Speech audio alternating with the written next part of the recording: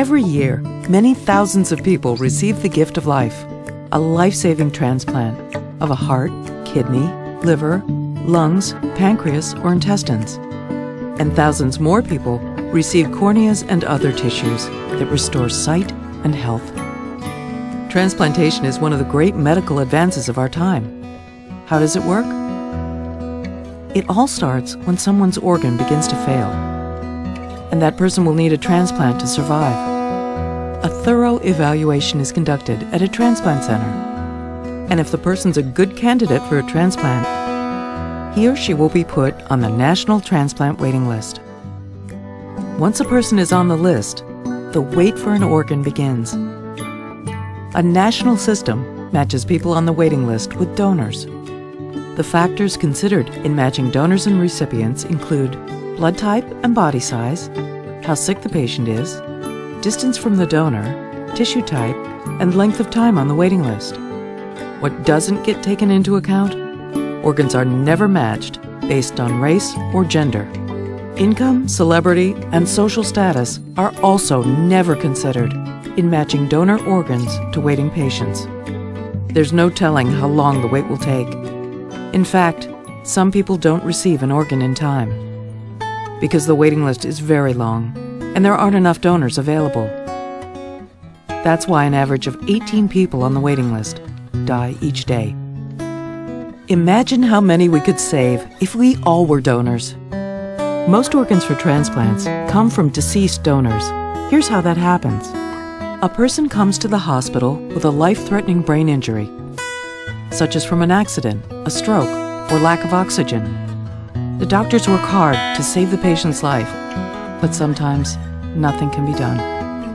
There's a complete, irreversible loss of brain function. The patient is clinically and legally dead.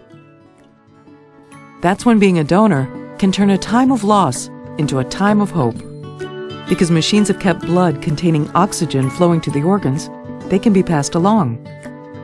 One person can give life to as many as eight people through organ donation and enhance the lives of 50 people or more through eye and tissue donation.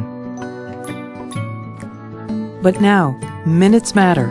Matches must be found, and transplants must happen quickly. The hospital contacts an organ procurement organization, an OPO. OPOs manage the organ recovery process. The OPO checks the state organ donor registry. If the person is already registered as a donor, they'll inform the family. If not, they'll ask the family to authorize donation. A medical examination takes place. They check the medical and social history, and if the person is eligible to be an organ donor, the computer begins the search on the national waiting list for well matched patients. The best matched patients for each organ are contacted by their transplant teams. This is the call that every single person on the waiting list has been hoping for. The call that could mean a second chance at life. Now the transplant happens. A surgical team recovers the organs, then corneas and other tissues. The organs are sent to the transplant hospitals where the patients and transplant teams are waiting, and the life saving transplants take place. It will take healthy living and medications to keep the organ working well in its new home. But some wonderful person has given the most precious gift of all the gift of life. You too can make the decision today to sign up on your state registry as an organ, eye, and tissue donor. Any age is the right age, young or old. And any day is the right day to sign up as a donor. You can register through your driver's license office or you can sign up right now, online. Remember to tell your family so they can support your wishes. More than 100 million people have already signed up, but we're all needed to save more lives. Go to organdonor.gov and sign up in your state donor registry as an organ, eye, and tissue donor. Go to organdonor.gov and share the gift of life.